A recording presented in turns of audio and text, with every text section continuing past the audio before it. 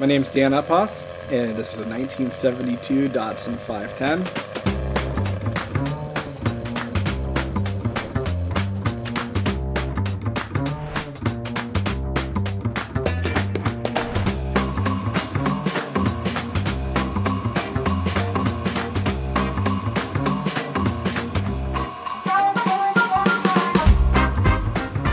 Um, I've had about 20 different Datsuns. I've been into Datsun since I was a kid. I remember sitting in the back seat of a 510, reading a book or playing with toys and letting my parents take me to whatever show we were going to that weekend. We had our Blue Lake Datsun show that's been going on this year is the 34th year. My dad is still the president of the club. My first Datsun I got was my purple 510, which is in the garage. Um, it was my dad's car for like 15 years before that. It was his daily driver and did a lot of stupid stuff with the car growing up.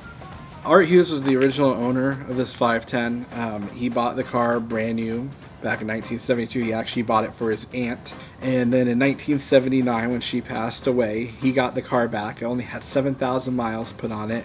He decided that I'm going to leave this car as is. And he just left it all original. And that's just been his thing through all those years. Like, running around with the stock showroom quality 510 which to him he said you never saw that anymore. Everybody that got a 510 the first thing they did is they lower them they put different wheels on them. You know the moment they got it they started modifying it. So seeing a non-modded car that's in original condition to him that's what he enjoyed about the car.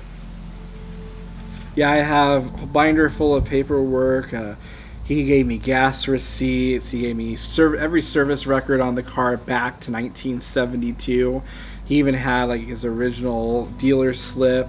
He had laminated um, the original 100,000 mile buyback guarantee from Brasso Datsun. Yeah, he kept everything on this car. Every single record that he could have, he kept. Well, when Art wanted to sell the car, he had it up for sale. Um, he had a couple different people look at it up there one person talked about wanting to put in a five speed and start modifying the car and then another family wanted to buy the car for their son for his first car. And just hearing all this just art it, he didn't want it. So he actually sent my dad a letter just saying will you please buy the car? And for me like growing up with the car and seeing it at all the shows since i was five like i loved the color of it i loved how it looked you know i loved art. And when i he told me about the letter it's just like buy it. Like, go buy it from Art, and then I will buy it from you. And so he went up there, he bought it from Art. He had to go through the whole process of importing it because it was a Canadian car. So he had to go through American customs and all that. The thing I remember him telling me that really got to him was when he left Art at the border and he remembers Art tearing up as he drove off with the car. You know, the car had always been with him since, you know, the late 70s. And he was at every show every single year. And it was when he didn't show up, that's when we ended up finding out about him being sick. And he wanted to sell the car to make sure that it was taken care of. There's been a good amount of trophies. I have two big boxes of arts that were just full.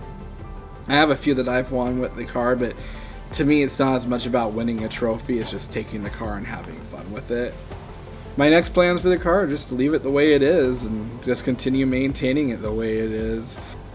I've told my wife and other people a lot of times I don't feel like it's even my car. I feel more like the caretaker of the car. Like I feel like it's still Art's car. I'm just the one looking after it for him for right now.